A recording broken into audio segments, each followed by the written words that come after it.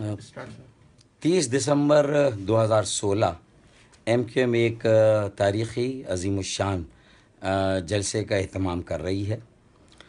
और जिस तरह एम क्यू एम ने माजी में जब भी इस बात की ज़रूरत पड़ी कि हम आवाम की यकजहती और इत्तेहाद का मुजाहरा करें और इसके बरखिलाफ़ जो क़यास आरइयाँ या स्पेकुलेशन है उसको ख़त्म करें तो ऐसे हर मौके पर कराची वालों ने ख़ास तौर पर सिंध के शहर के अवाम ने, महाजर अवाम और मज़लूमों ने एम क्यू एम की ज़बरदस्त पजीराई की।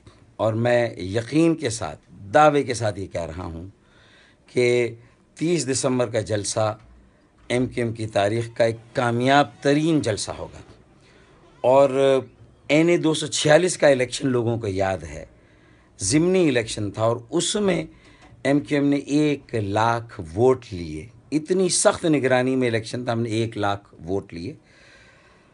हमने यही कहा था कि मुद्दई लाख बुरा चाहे तो क्या होता है? मुद्दई लाख बुरा चाहे तो क्या होता है? वही होता है जो एन ए में होता है। इन तीस दिसंबर को भी लोगों की आँखें हैरत ज़दा रह जाएँगी और आवाम का ठाटे मारता हुआ समंदर होगा। और ये इतिहाद और यकजहती इसका मकसद ये है कि कराची के अवाम और पाकिस्तान के मज़लूमों को इज़्ज़त के साथ जीने का, इज़्ज़त के साथ मरने का हक़ दिलाया जाए।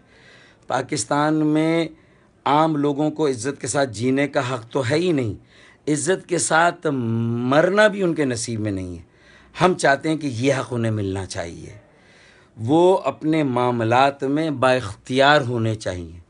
मुल्क के मामलात में शामिल और शरीक होने चाहिए। और उनका इतिहाद और यकजहती ही उनकी बका और सालमियत की ज़मानत होगी। कराची के अमन और इसकाम की ज़मानत होगी। उनके रोशन मुस्तबिल की ज़मानत होगी। उनके बुनियादी मसाइल के हल की ज़मानत होगी। लोगों को ये मालूम है कि उन्हें मुतहद करने का सबसे मुनज़म ऑर्गेनाइज प्लेटफॉर्म कौन सा है? एक मुतवसत तबके की, के मसाइल की तर्जुमानी कहाँ होती है?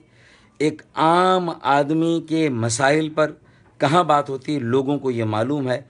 वो एम क्यू